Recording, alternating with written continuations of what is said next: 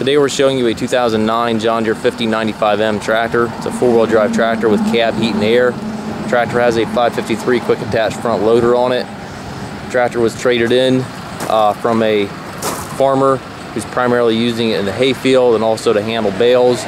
Tractor's clean, starts and runs just like it should with no known issues. It's got the front grill guard and the weight carrier. Paint's in really nice shape.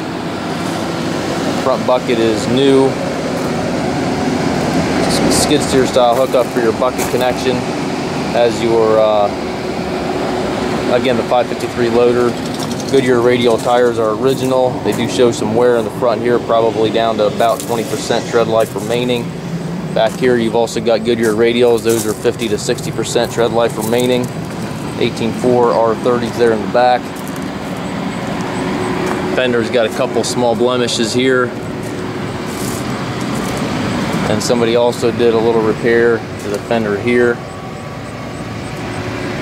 Rear work lights up top, dual hydraulics. It's got the 540 and 540E PTO. It's got the telescopic three-point arms. Beacon warning light up top. It's got the toolbox on it here. Very clean tractor. Inside the cab, it's got the tilt and telescopic steering wheel, full suspension seat here for the operator.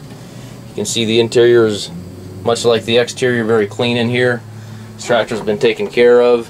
Does have the loader control right there within easy reach. Has your two main transmission sticks here. You've got four ranges back here, three gears in reverse on this lever.